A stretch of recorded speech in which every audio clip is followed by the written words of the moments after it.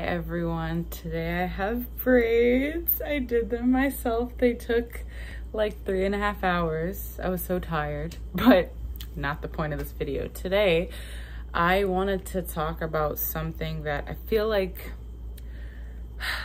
not that I created, but you know when you think of some manifestation YouTubers and you're like, okay, you think of that person and then you think of like something that they talk about you know what i mean?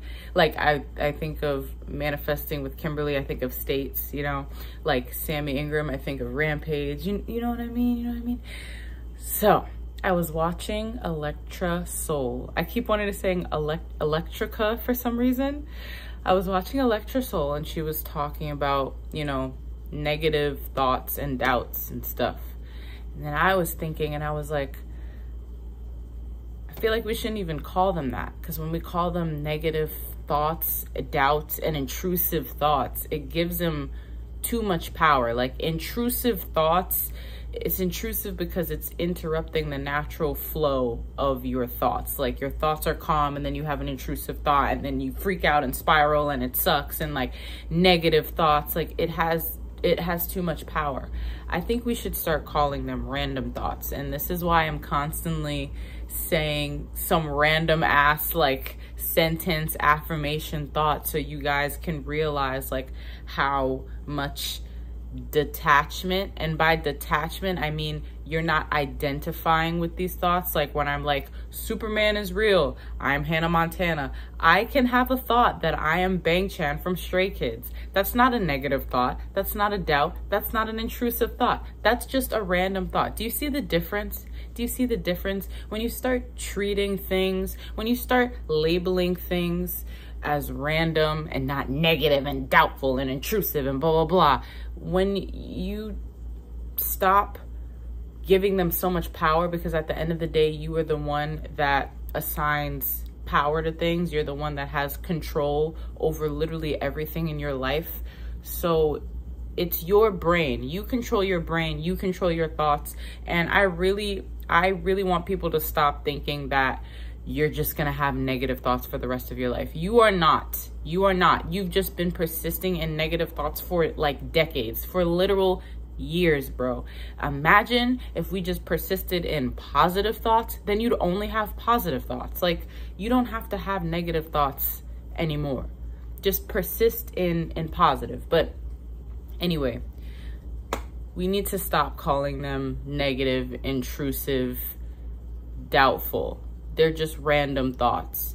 You can have a thought from the old story, but the reason why a lot of people spiral when they think of the old story is because they're still choosing to identify with it. Change what you identify with. Change those, change the label of those thoughts. Change how you look at those thoughts.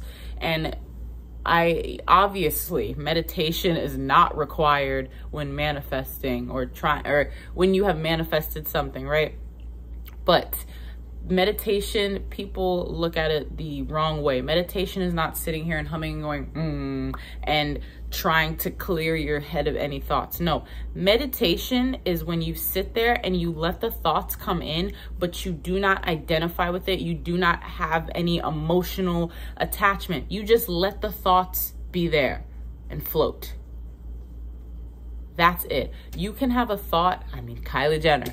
Kylie Jenner can have a thought that she is broke, but she's in a rich state. So she doesn't identify with that. So the thought comes and goes. When you stop calling them intrusive, negative, and um, doubts, they become random fleeting thoughts because when you have a thought and you're and you identify with it and you grip onto it and blah blah blah, blah they stay but when they're just random and you just observe the thought, you just observe it and you're like, if you have a thought that's like, oh, I'm broke.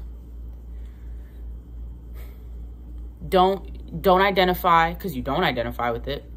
Don't identify and don't be like, oh my gosh, am I? No, just sit there. You don't, you obviously, you know, flipping, it's not, it's not even flipping the thought. It's just that you don't identify with that thought anymore. But I think we are so used to flipping the thought, which obviously makes sense. You know, you've been persisting in negative, so persist in positive. So obviously flip the thought, but you don't have to rush to do so. Like now I find myself, I obviously flip thoughts if I even have any at this point, but I don't feel the need to rush to flip it because I don't identify with it anymore. I feel like it's like I have a thought, I'm Lee Know from Stray Kids. I'm I'm if I go if I don't immediately go, no, I'm not, I'm not gonna be like, am I? Because I'm not. I'm I'm I'm not. I'm in the state of I'm me. I'm not Lee Know from Stray Kids. So like you don't have to go and like rush to flip the thought. Just observe it, let it be. And when you do not have any you don't identify with it, you're not clawing to be like, oh my gosh, da da da. It's fleeting. It'll disappear very, very quickly. Trust me. I have I have done this and I have been so so calm. Like I genuinely, once I realized like they're not negative, intrusive, uh, doubting thoughts because you you decide what they are, right? If you decide that you don't have any negative, they're just like random fleeting fleeting thoughts and they go away. Like I have been so calm lately so definitely try that. That is that is a method. I don't i don't obviously i didn't create it but like you know what i mean? Okay. Goodbye